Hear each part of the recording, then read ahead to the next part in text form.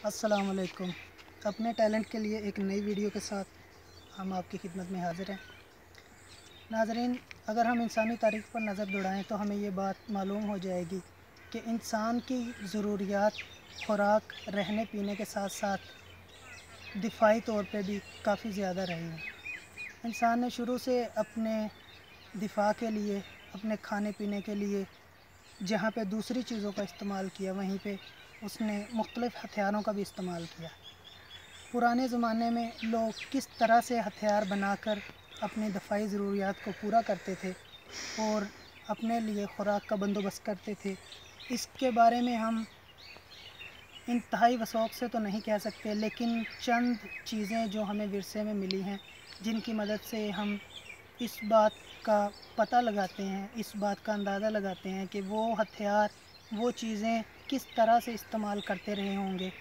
आइए उन्हीं के बारे में, उन्हीं में से एक चीज़ जिसको हम तीर कमान कहते हैं, उसकी हम एक पुरानी झलक आपको दिखाते हैं कि पुराने ज़माने में तीर कमान किस तरह से बनाए जाते थे या बनाए जाते रहे होंगे।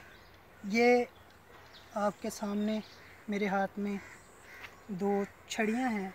ये ताज़ा ताज़ा मैंने दरख्तों से अभी काटी हैं। ये इसको हम आमतौर पर काना या सरकंडा कहते हैं। ये उसकी है और ये मैंने शीशम के दरख्त से बनाई ये आप देख सकते हैं।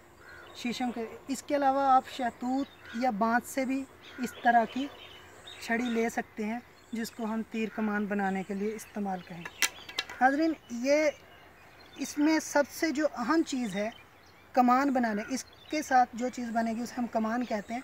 कमान बनाने के लिए सबसे ज़रूरी चीज़ ये है कि इसमें लचक होनी चाहिए।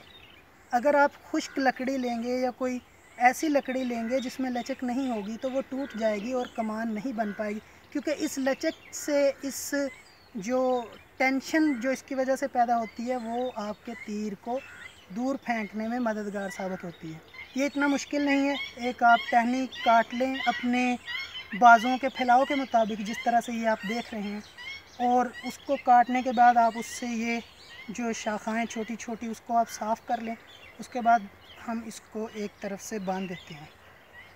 ये देखें, इसको हमने रस्सी की मदद से एक साइड से बाँध दिया। इसको मज़बूती से बांधे ताकि ये खुल के आपको चोट पहुँचाने का बायस ना बन जाए।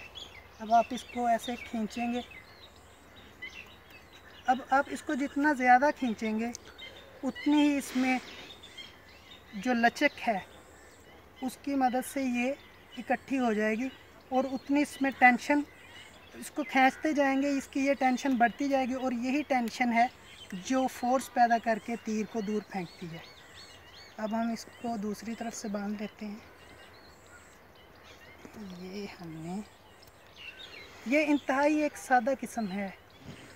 अब इससे तो हम अब हमने तो यहाँ पे ये, जो रस्सी या धागा यूज़ कर लिया लेकिन पुराने ज़माने में शायद ये चीज़ें ना होती हों और वो जिस तरह से हमने ये लकड़ी इस्तेमाल की है इसी तरह से वो किसी दरख्त की शाख या जड़ को इस तार के तौर पे इस्तेमाल करते हों।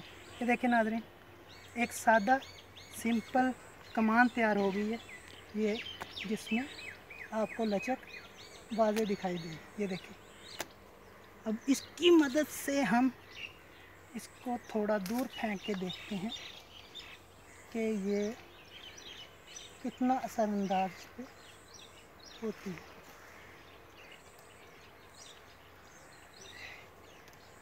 सॉरी